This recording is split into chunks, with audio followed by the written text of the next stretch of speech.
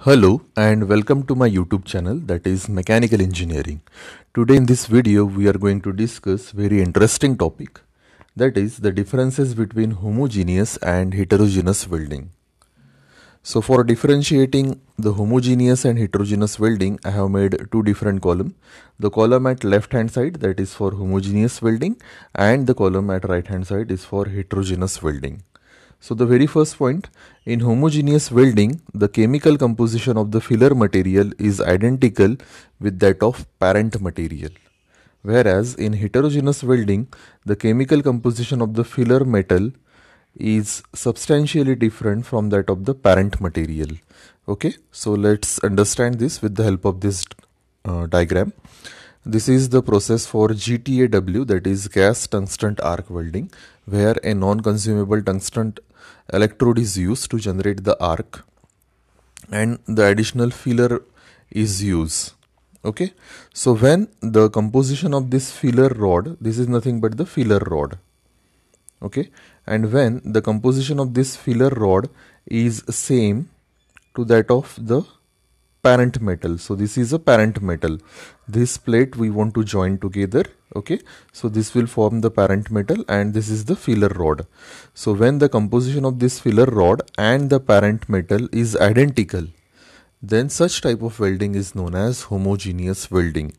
And when the composition of this filler rod is not identical or it is different from the parent metal then it is known as heterogeneous welding okay so in homogeneous welding chemical composition of the filler metal filler material is identical with that of the parent material whereas in heterogeneous welding the chemical composition of the filler material is substantially different to that of parent material Next point, it is not possible while joining dissimilar material.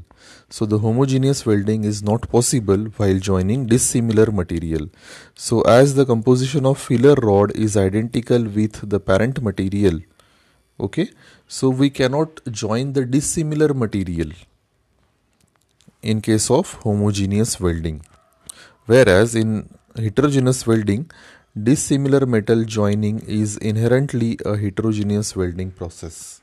Okay? So as the composition of filler material is different from the parent material so that is nothing but an inherent, inherent characteristics of the heterogeneous welding. Next point.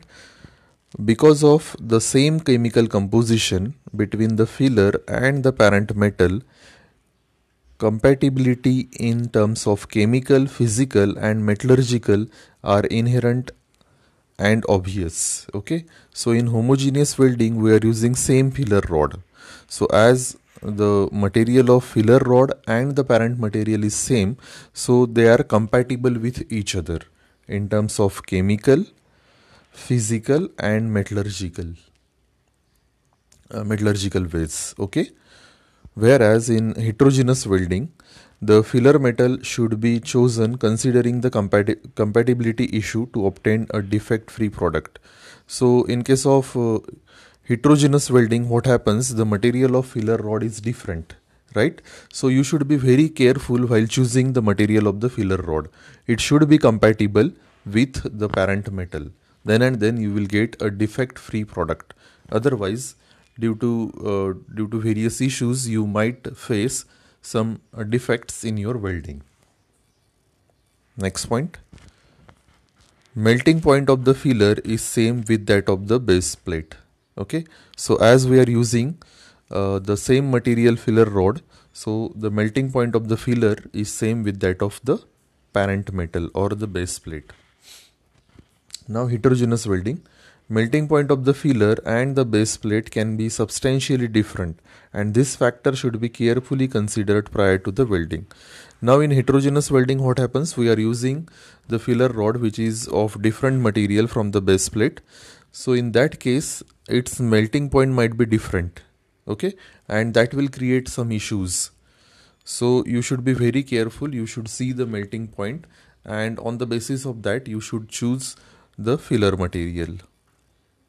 Next point physical, chemical and the mechanical properties of the weld bead are roughly same with that of the base metal in case of homogeneous welding.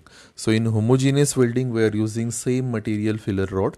So the physical, chemical and mechanical properties are roughly same to that of base metal. Whereas in case of heterogeneous welding what happens we are using different material filler rod.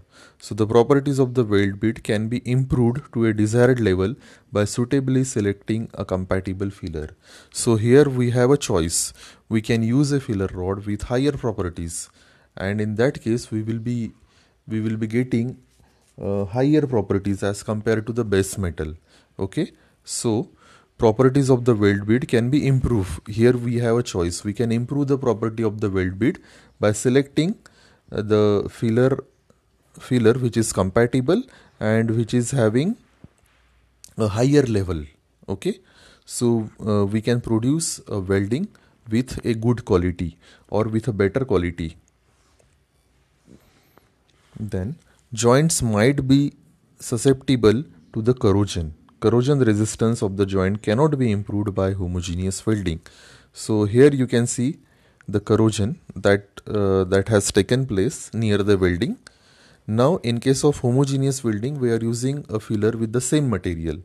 So in that case we cannot increase the corrosion resistance of the uh, welded joint because we don't have a choice we have to use the electrode with the same material so as we are using an electrode with the same material we cannot increase the corrosion resistance of the welded joint Whereas in case of heterogeneous welding, the corrosion resistance of the joint can be enhanced by heterogeneous welding by employing a corrosion resistive filler. This is advantageous for the marine application. Now in heterogeneous welding we have a choice. we can use the electrode with better corrosion resistance properties okay and that should be compatible so in this case we can uh, we can use the electrode with better corrosion resistance and we can improve the corrosion resistance properties of the welded joint. And this is more advantageous in case of the aqueous or the marine application because in that case the welded joint is continually subjected to the corrosive environment and in that case we, we want to improve its corrosion resistance. Next point, rate of expansion or the contraction is approximately same for the molten for the molten filler and the base metal. So the chance of crack formation on the weld bead is also less. Now in case of homogeneous welding we are using uh, the filler with the same material so its rate of expansion or the rate of contraction will be nearly same and hence we uh, and hence it is uh, it is possible to get a crack free joint okay? Here we can see uh, the crack which occurs over the uh, weld bead so such type of cracks uh, will not will not produced in case of homogeneous welding because the rate of expansion and contraction will be same because we are using a same filler material whereas in case of homogeneous welding what happens? Unequal rate of contraction between the molten filler and the base metal during solidification can lead to residual stress generation and crack formation on the weld bead. so in case of heterogeneous welding what happens? We are using a filler rod with different material.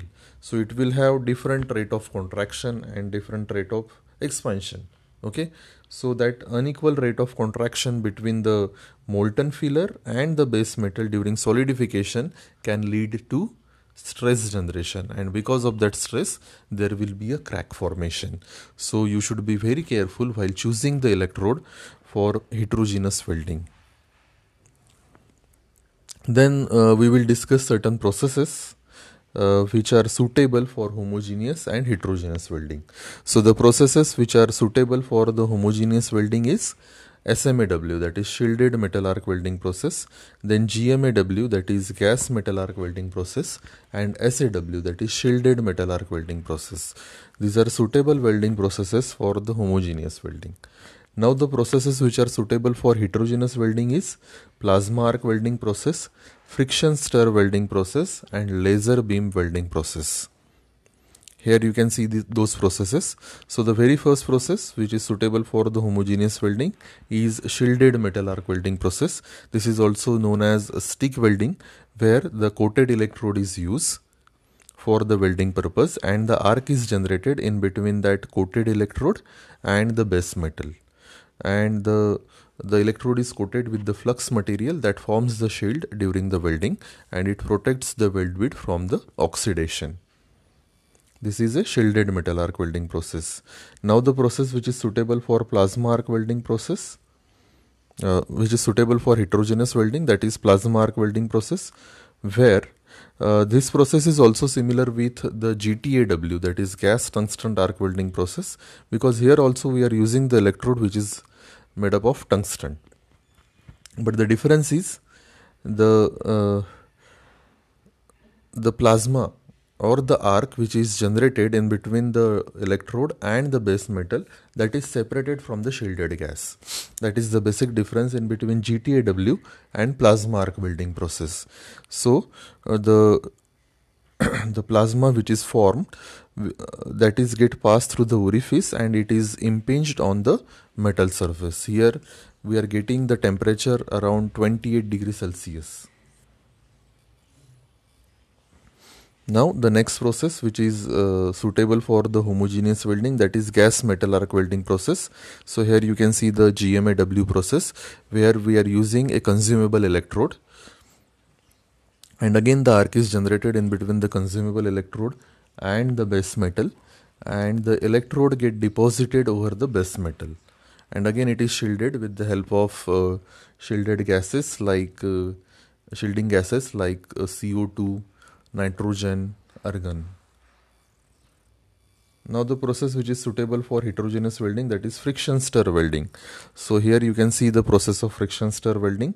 So the plate which we join together they are they are kept aligned to each other and then uh, then here in this process a rotating tool is used and then there will be a friction in between the rotating tool and the base metal which will create the heat and that heat is uh, used for welding the two plates uh, this type of welding is mostly suitable for the aluminium plates.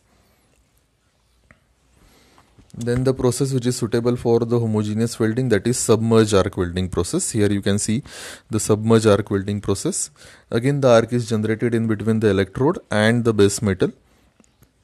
And then uh, the arc is submerged inside the inside the flux so here you can see the flux which is whitish in color so you cannot see the arc okay it is completely submerged inside the flux. Then the process which is suitable for the heterogeneous welding that is laser beam welding process. So here the laser source is used uh, for generating the uh, for generating the heat. Okay and uh, this this type of welding is suitable for the deep and narrow welding and again we we will be getting high rate of uh, production with the help of laser beam welding. It is mostly used in automobile sector. So this is nothing but a basic difference in between homogeneous and heterogeneous welding. Thank you so much for watching my video. Thank you